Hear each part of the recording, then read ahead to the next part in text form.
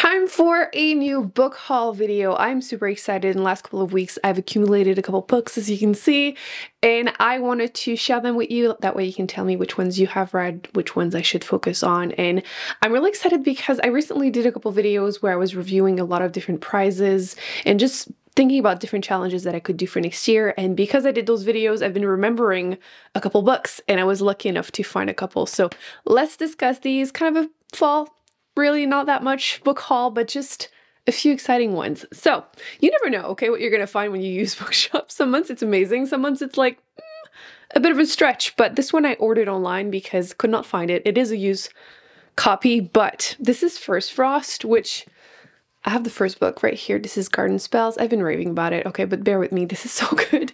This is Practical Magic 2.0. If you like the movie, read this. Uh, small town witches uh, in a family, two sisters. There's some, but a little bit of romance, a little bit of drama, but overall, I think it was really cozy and I wanted more and I was really excited that I saw that there was a second book and again could not find any library because it is older and I feel like this looks like a library copy and I just realized that it is. you know when you can tell when holding them? Like I feel like they have this like reinforced portion. Uh, but yeah this is from the UK and it was last taken out in 2020 uh, but yes it's the second book. I don't know if it's gonna be as good because I feel like cozy you know fantasy like that where not that much happens in the first book, you wonder what's going to happen in the second one, but I don't care because I like the cozy vibes and I wanted more. So I have my new English uh, library edition and I'm excited. So I have it. We'll be reading that. I don't know if I'm going to wait until next year or not. I will see what happens because currently I'm a little bit in a reading slump. You'll see that in my next vlog if it's not already up. Uh, but yeah, that's the first one. Uh, the next two are part of the challenges. Okay, I kept seeing this other edition. I'll put it on the screen. This is The Mountain in the Sea. And when I saw this one, I was like, I feel like this title like rings a bell, but really I just wanted to own this because of the cover. I mean, I don't have enough green books. Can we talk about this for a second? I used to not care about what the books I bought look like because I buy used books and like I'll take what I can get kind of thing. But I'm realizing that certain colors that I love, like green or purple, there aren't enough books that have that color. And it could be because of the genres that I read, but like this is so much more fun. And look, I don't even know what that is. Is that like, I don't know, it looks like a stingray or something. Anyway, more books, please be cool like this. Uh, so yeah, I'm happy that I not only found a copy of this, but the prettier edition that I didn't even know existed. And I believe this one is a sci-fi where um, it's a marine biologist, which who didn't want to become a marine biologist as a kid? And they're studying octopuses?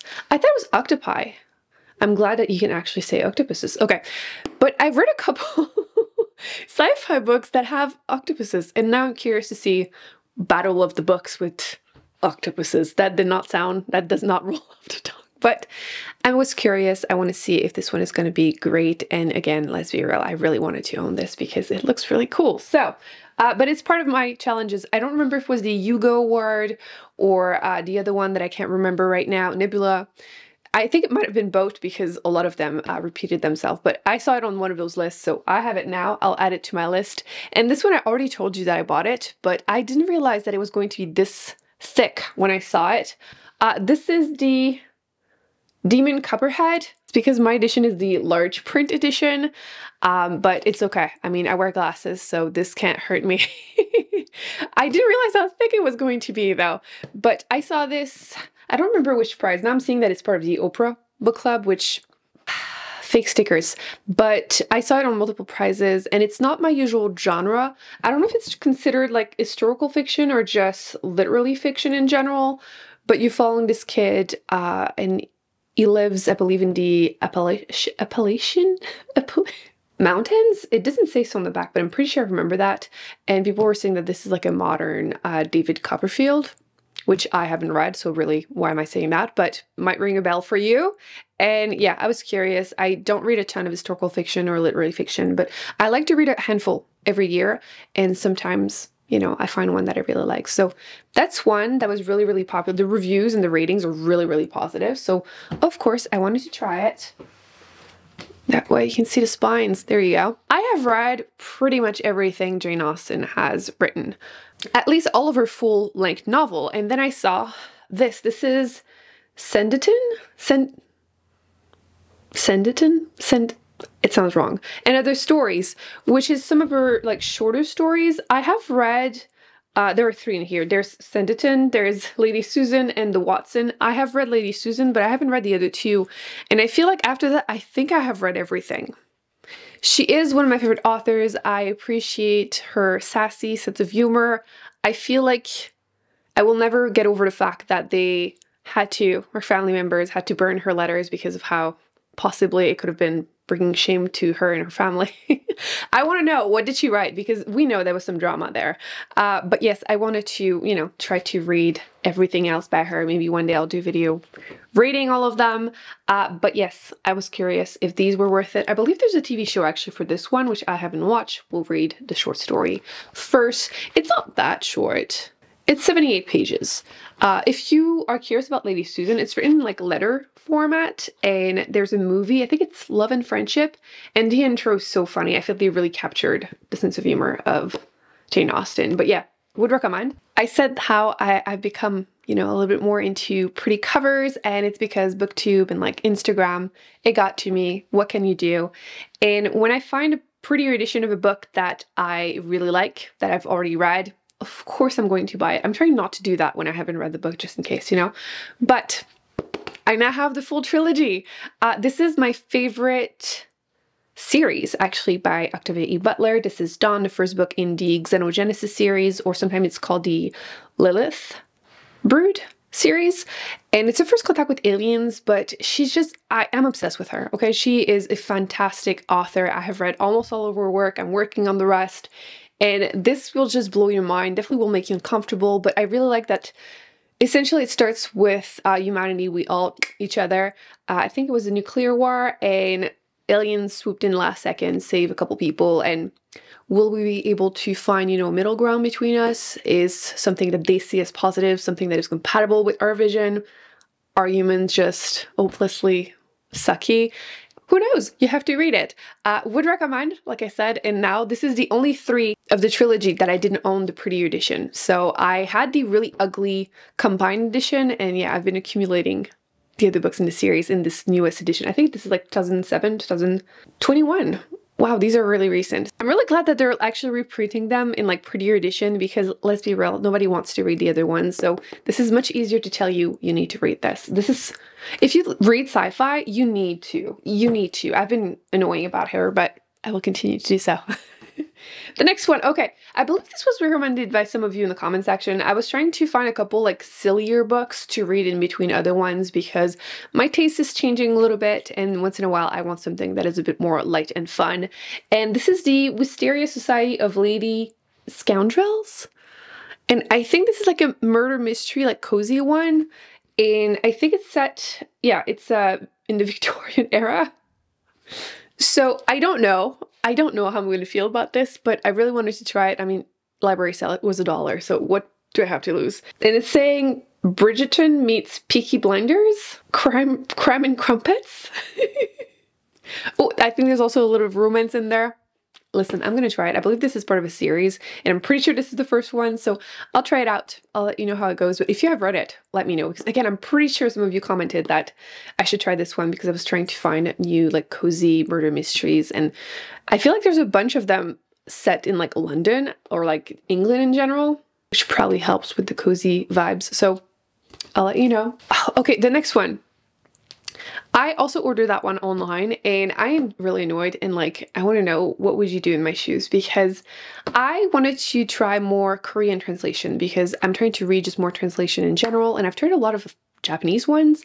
And I feel like they translate really dryly in English. A few of you actually told me to try them in French, which I probably will. But I wanted to try Korean ones because I only can remember like one or two and I wanted to try more. Um, so I wanted to try this one. This is Human Acts and I got, I think it's The Vegetarian the other book by the author. Anyway, I ordered this edition because I thought it was cool. There's also this other one, um, and they sent me this one. I spent a dollar more to get the other edition, so like I'm tempted to just like send it back, but it just seems like so much work because I really do want to read the book, but I didn't want the ones with the shells or the, the, the bullets. I didn't want that edition, but now that's the one I have. So I think I'm probably just gonna be too lazy to return it, but I'm, I'm really annoyed. Anyway, I'll probably get over it soon, but I wanted to try this one. I believe this one is uh, Student Revolution, I want to say. Yeah, there's the Student Uprising, and I believe one of the student is murdered and examination of humanity at its most appalling and its most hopeful. So why don't you give this one a shot? Would you consider that historical fiction, 1980? I feel that, is it that far?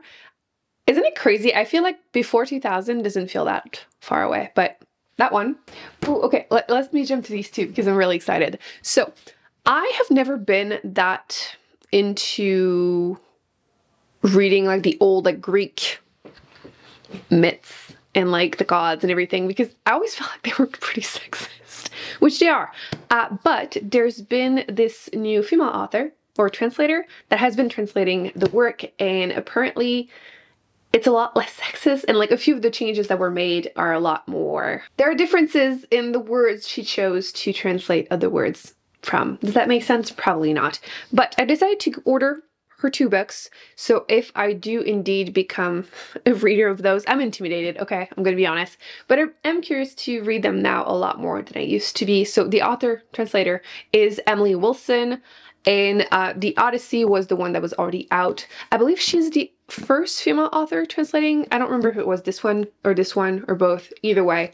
But I know that some people have already started like comparing the translation in um, again, the words that were used to describe the female characters, for example, are very different. So we have the Odyssey and then we have the Iliad. I feel like if I can read uh, the Song of Achilles, why can I not read one of these? I feel like these would be really nice to like study in school because I, again, am super intimidated. But I wanted to support her and then one day maybe I will have the courage. I can't be the only one that's stressed about these. I feel like it's something that I want to read once in my life, like War and Peace, but like maybe not right now. maybe a couple pages a day, you know? And then I have a couple uh, nonfiction. Uh, they're all over the place, but you know, use book shopping. That's what happens. So the first one is The Beauty Myth, which I've been finding a lot of like older feminist books and I, I don't know who's cleaning up their house, but that makes me happy. Uh, this one was published in 91, but this edition is from 2002, so it's not that old once again. Is it so bright? But I remember seeing quotes of this one. I really like the idea of reading like older feminist works and then comparing them to more modern ones to kind of just balancing my reading a little bit. And I don't know if it is the whole topic of the book, but it's the whole idea that you don't owe beauty to society, which that would be nice. Uh, that would be nice. So that's the first one. And then, uh, again, okay, bear with me, bear with me. I personally feel like this book is a red flag. If I go to someone's house and I see this on their shelf, I will want to run away. I'm just gonna say it. Like this is a red flag. Uh, this is the 48 Laws of Power. Okay, bear with me. I feel like this is a, like reading a book to be prepared mentally for your enemies, but more like corporate world and like, you know, life. So it's not something that I'm going to be reading to get tips on how to treat people, but more like, again, reading to recognize the patterns and like the signs. And yeah, I'll let you know how that goes. Maybe one day I'll do um, a video where I review a bunch of nonfictions, like the scary, like the bro ones, you know? I feel like sometimes some of them are good, some of them are kind of terrifying. So I'll update you, but uh, yeah, again, don't judge me on that one, okay? And to balance it out, I got this one. I was shocked to see it there. Uh, this is the Communist Manifesto. I didn't know it was this tiny. Look how ridiculously short that thing is.